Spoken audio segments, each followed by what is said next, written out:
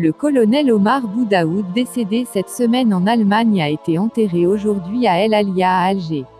Omar Boudaoud, fils du village Azroubar commune Mizrana Tigzirt était un grand chef durant le mouvement national, puis devenu colonel durant la guerre et célèbre chef de la Fédération de France.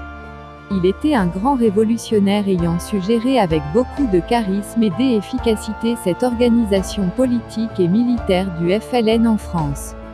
Il était l'artisan des événements du 17 octobre 1961 à Paris et a su comment faire exporter la guerre au cœur de la France et faire de la Fédération de France un poumon financier pour le FLN et la mobilisation de soldats pour s'engager dans la guerre en Algérie.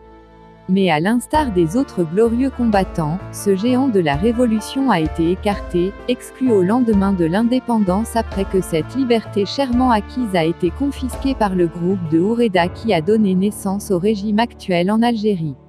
Pardon et gloire pour nos martyrs. Repose en paix glorieux combattants.